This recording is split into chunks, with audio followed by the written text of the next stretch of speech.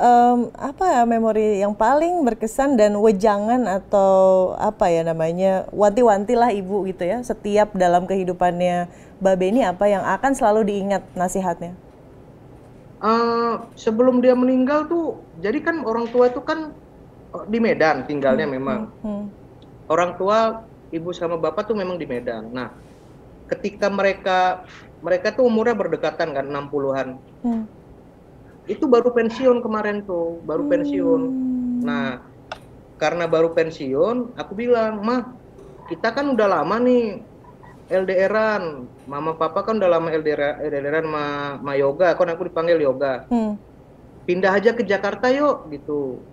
Ngapain lagi orang udah pensiun kok. Nanti kalau mama kangen Medan tinggal pulang, tapi tinggal di sini aja biar deket hmm. gitu. Nah, hmm. akhirnya aku kontrakin lah tuh rumah di Jakarta. Baru oh. ditempatin dua minggu itu meninggal.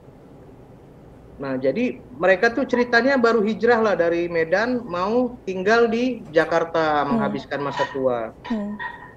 Nah, pas pas lama di Jakarta dia ngeliat tuh uh, yoga kamu mama liatin selama di Jakarta kayaknya nggak pernah sholat ya katanya.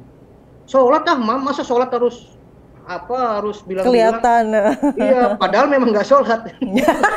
ya Allah. Lalu dibilangnya, okay. iya kamu gimana nggak sholat kalau mama meninggal nanti? Kebayang Aduh. mama nggak ada lah yang doain mama nih kalau hmm, misalnya hmm. mama meninggal. Dia bilang gitu tuh waktu entah ya aku kan dengar kayak gitu kan biasa namanya orang tua kan merepet merepet-merepet biasa kan. Hmm, nah, karena udah sepuh gitu ya. Iya, karena ah biasa nih. Ternyata secara nggak langsung itu dia bilang bilang ngingetin untuk yang terakhir kali kalau misalnya dia tuh udah memang udah mau dekat meninggal gitu. Karena memang mama itu mendadak tuh.